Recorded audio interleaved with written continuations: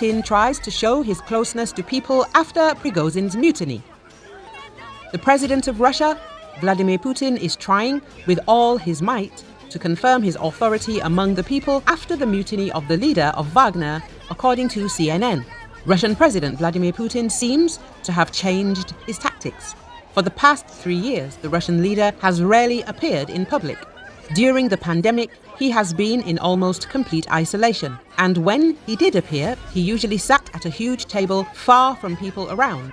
However, after Putin faced the biggest ever challenge to his power over the weekend, he found himself back in the spotlight. The Kremlin is now making every effort to confirm Putin's authority, holding meetings and public events designed to demonstrate the unity and solidarity of the state and the army under his leadership, the channel said. Putin has made several public appearances since the mutiny, including a trip to Dagestan. Russian propaganda posted a video in which he was met by supporters on the streets of Derbent. Putin later said he had no doubts about the reaction to his visit to Dagestan and throughout the country.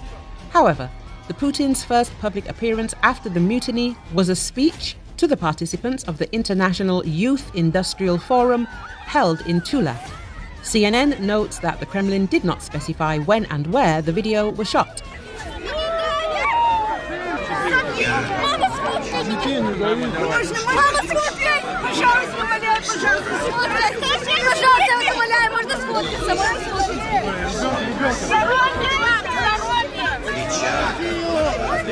Сфоткаться, сфоткаться, сейчас, сейчас, сейчас, сейчас, сейчас, сфоткаться, пожалуйста. Умоляю, умоляю, можно нравится? Мам, извините, можно мама сфоткать? Давай, давай.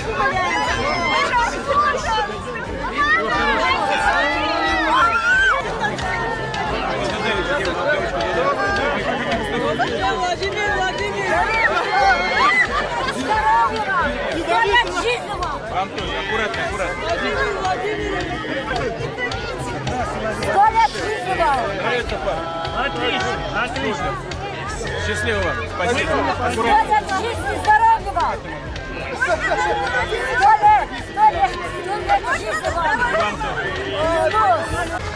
спасибо большое. До свидания. Спасибо. Очень приятно. Ждем вас а, снова. Спасибо.